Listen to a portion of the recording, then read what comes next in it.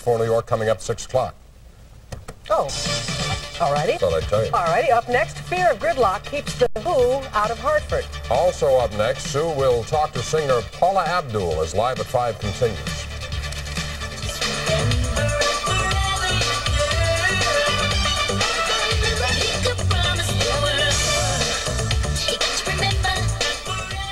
Sue has a guest. Jack, thank you. She has won many awards for innovative choreography for artists like Janet Jackson, ZZ Top, Duran Duran, Kool and the Gang, and Dolly Parton. Now Paula Abdul is adding another credential to her rather impressive list. Her debut album, Forever Your Girl, has already given her three hits, including Straight Up. Now she has a fourth already in the top ten. It's the title song from her album. Before we meet Paula, let's listen to her song.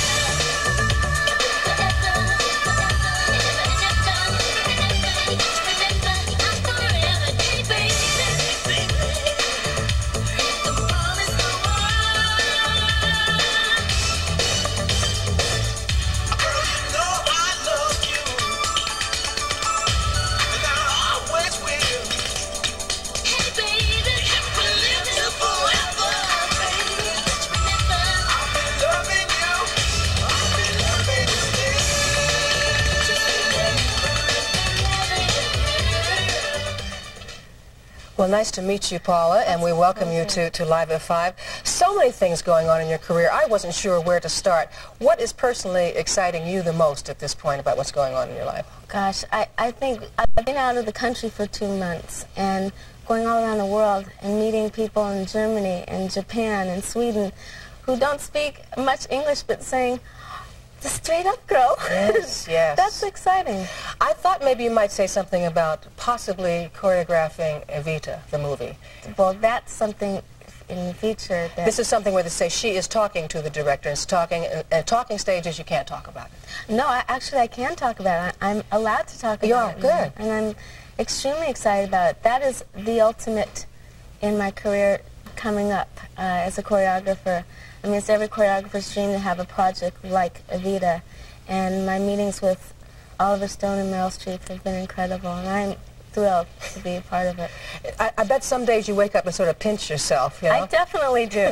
Lots of times. Lots of times. Um, you were nominated for uh, your work uh, as a choreographer on the Tracey Ullman show. Yes. And uh, it's been said that they're, they're really don't want you to go anywhere. They want you to stay right there.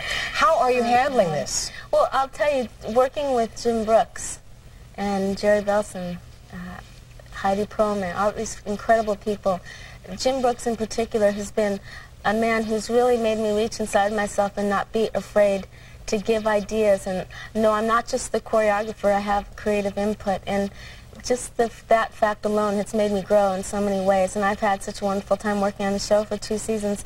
And if there's any way possible that I could still be like a guest choreographer, I definitely will. You've had uh, so much acclaim as a choreographer. How sensitive are you that, that the raves for your singing have not quite equaled the, the praise for your choreography? Well, uh, I never expected the choreography to take off the way it did. It was, uh, you know, I had been working in, in my dancing and studying, but I never realized that I was going to become a choreographer. And then when the work that I did with Janet Jackson surfaced, it just opened the door to so many different jobs. You did all of her videos, I did her first four videos, mm -hmm. from what, what Have You Done For Me Lately, all, all the way up Nasty, When I Think of You, and then Control. And when all of that happened and all the other artists, I never expected that. And I never expected awards in that area. And, when, and the same thing when I segued over to the music, I mean, it was the type of situation where I didn't tell anybody. I wanted to just keep it to myself, and I was real nervous about it. And as anything goes, when you first start, it's always a nerve-wracking experience. So you feel um, the, the recognition for what you do vocally will take its natural course and, and everything so. will be all right.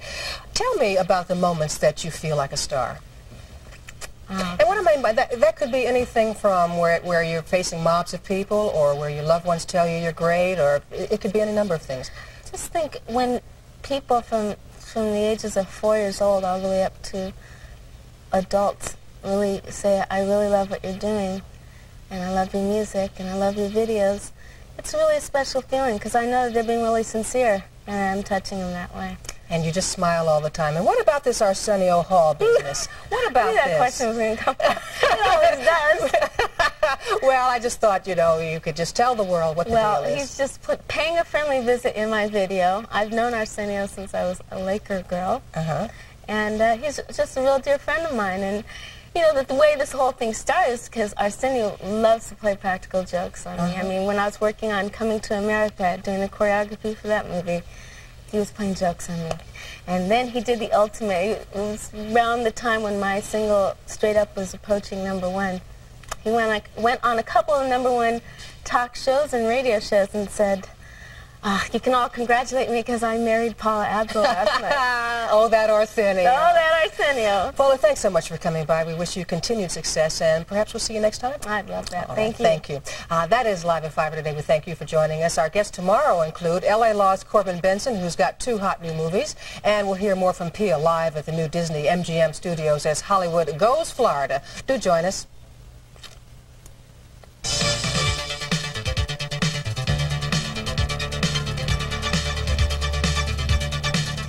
This has been Live at 5 with Jack Cafferty and Sue Simmons. Live at 5 is a presentation of WNBC TV in New York. I'm Don Pardo.